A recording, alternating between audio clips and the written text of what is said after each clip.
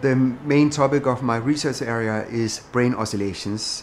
These brain oscillations are created by thousands of neurons oscillating in synchrony, and we believe they are very important for how the brain computes, but also for how information is exchanged between different brain regions. So my group is on the forefront in investigating these oscillations, and we are using MEG to investigate this. We are here standing in the MEG lab.